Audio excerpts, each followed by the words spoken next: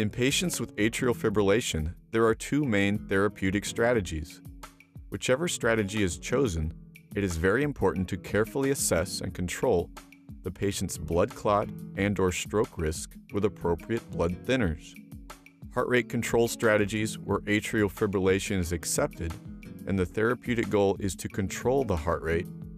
Here the options are either medications or a pacemaker. Heart rhythm control strategies to prevent atrial fibrillation and the where the therapeutic goal is to maintain normal heart rhythm. Here the options include antiarrhythmic drugs, or catheter ablation, which can be curative.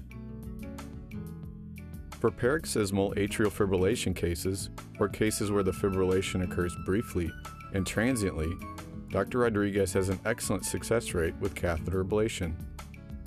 In a sample of 75 patients with at least one year follow up data, 91% experienced complete relief, and the remaining 9% experienced partial relief.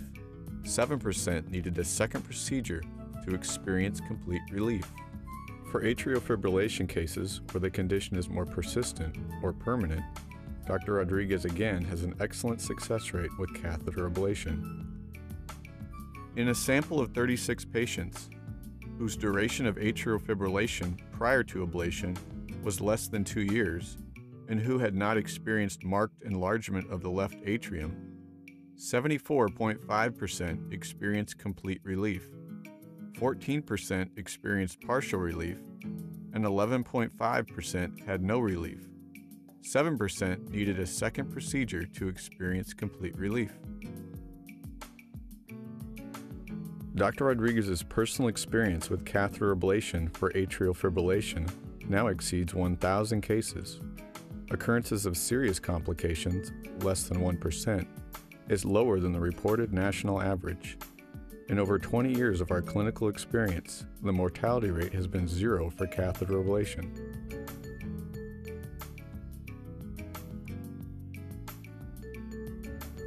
PSVT is a short circuit driven arrhythmia that is treated with careful observation, medications, or catheter ablation.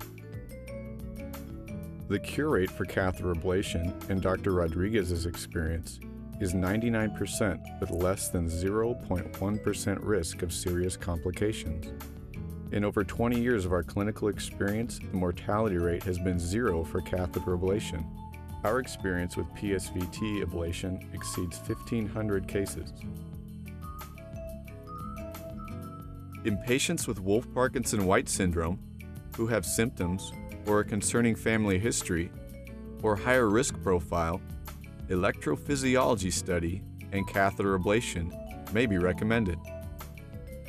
Dr. Rodriguez has treated over 500 cases of Wolff Parkinson White syndrome with excellent outcomes.